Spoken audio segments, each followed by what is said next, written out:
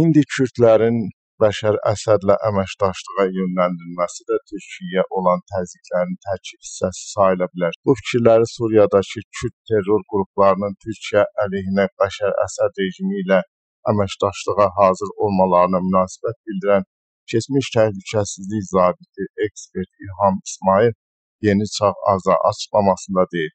Onun sözlərinə görə kürdlərin Bəşər Əsədlə əməkdaşlığa yönləndirilməsi Amerika Birləşmiş Ştatlarının Türkiyəyə olan təzyiqlərinin tərkib hissəsidir. Stat Suriyadakı kürd terror qruplaşmalarının Bəşər Əsəd rejimi ilə əməkdaşlığa yönləndirilməsi Amerikanın işidir. Rusiyaya gəldikdə əvvəllər Moskvanın həmin qüvvələrlə mövqeyi uyğun gəlməyib. Ona görə də kürd qruplaşmaları dırnaq arası demokratik qüvvə adı altında Amerika tərəfindən dəstəklənərək maliyyələşdiriliblər və silahlandırıblar. Bu baxımdan bölgədəki kürdlər Amerikanın diktəsi ilə hərəkət edirlər.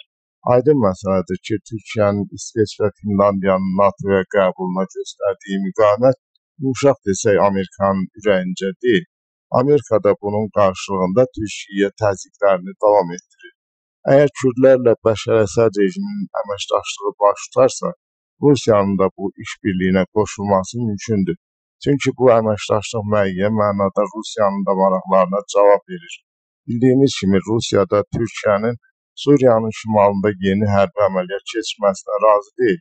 Hətta Putin də bununla bağlı öz narazılığını ifadə edir.